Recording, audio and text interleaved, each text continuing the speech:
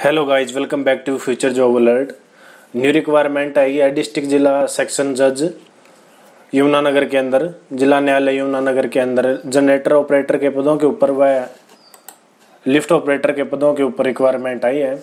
अगर आपने हमारा चैनल सब्सक्राइब नहीं कर रखा तो सब्सक्राइब ज़रूर करें क्योंकि आपका एक सब्सक्राइबर हमारे लिए बहुत कीमती है। जनरेटर ऑपरेटर के पदों के ऊपर भर्ती में योग्यता दसवीं पास है। अठारह से बयालीस साल आयु रहेगी। डीसी दर के अनुसार वेतन मिलेगा। दसवीं पास हुआ डीजल, ऑटो, ट्रेड में आई टी की होनी चाहिए। दो वर्ष का कार्य का आपको अनुभव होना चाहिए। आयु की गणना एक जनवरी दो हज़ार बाईस के अनुसार की जाएगी। आवेदन पत्र अपने शहर के फॉर्म विक्रेता से प्राप्त करें। विभागीय वेबसाइट डब्ल्यू से भी आप डाउनलोड कर सकते हैं। डाक द्वारा आवेदन भेजने का पता आपका सात पाँच दो हज़ार बाईस तक आपको फॉर्म फिलअप करके भेजना है।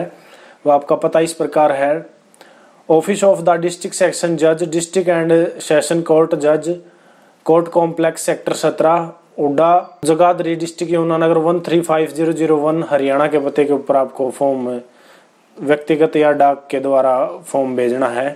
आवेदन में संकलित किए जाने वाले दस्तावेजों से पहले आपको और लिफ्ट ऑपरेटर के पदों के बारे में और बता देते हैं। इसके लिए भी आपको दसवीं पास की होनी चाहिए।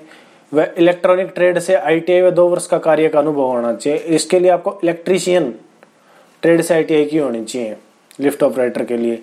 लिफ्ट ऑपरेटर के तीन पद हैं और आपके जनरेटर ऑपरेटर का एक पद है। इसको सात पाँच दो हज़ार बाईस से पहले आपको फॉर्म भर के सबमिट करना वाइस का भी एड्रेस फॉर्म का वही है। Office of the district session जज, डिस्ट्रिक्ट एंड सेशन कोर्ट, जज, कोर्ट कॉम्प्लेक्स सेक्टर सत्रह Hooda Jagadhri, district Yamunanagar one three five zero zero one.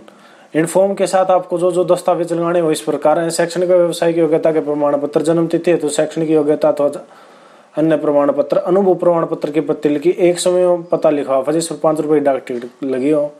आधार कार्ड या अन्य आईडी प्रूफ की प्रतिलिपि। अन्य सामान्य शर्तें आपकी इस प्रकार application of the post of में पोस्ट का नाम जैसे लिफ्ट ऑपरेटर या आप जैसे जनरेटर ऑपरेटर के लिए भर रहे हैं तो आपका पोस्ट का नाम जनरेटर ऑपरेटर कैटेगरी है, उससे लिखे होने चाहिए। साक्षात्कार के समय कोविड उन्नीस के निर्देशकों का पालन करें। उपरोक्त पदों के नियुक्ति के साथ साक्षात्कार दिनांक तेरह मई को ढाई, दो बजे से जुडिशियल कोर्ट कॉम्प्लेक्स यमुनानगर में होगा। आवेदन तेरह मई को साक्षात्कार के लिए एक बजे तक पहुँच जाएँ। साक्षात्कार के लिए किसी आवेदन को अलग से सूचना नहीं दी जाएगी। वह कॉल लेटर जारी नहीं किया जाएगा। साक्षात्कार के लिए समय आते समय आपको अपनी आईडी प्रूफ है, अपने दस्तावेज़ लेके आने हैं।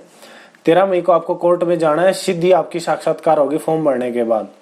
किसी को कॉल लेटर अन्य जारी नहीं किया जाएगा। इस निर्देश उपरोक्त पदों के लिए सभी आवेदकों को सामान्य वर्ग से ही आवेदन करें।